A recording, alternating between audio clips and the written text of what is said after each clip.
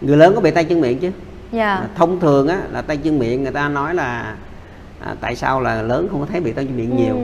là tại do hồi nhỏ bị rồi chứ không có gì đó tại À. vì hiện nay cái bệnh này là bệnh chưa có vaccine Dạ. và quá trình lớn lên chúng ta sẽ tiếp xúc với virus đó từ từ có miễn dịch Ừ. à, và cái khó nhất của người lớn á, là có khi họ bị họ có triệu chứng thì lúc đó mình biết mình tránh mình không lây cho con rồi cho cháu rồi nhưng mà có khi mình bị mà mình không có triệu chứng gì hết Dạ. mình là cái người mang cái mầm bệnh thôi cho nên cái bệnh tay chân miệng thì nó cứ lây tới lây lui vậy đó chứ còn người lớn vẫn có khả năng bị tay chân miệng. Và có có nhiều khi có triệu chứng rất là rõ luôn.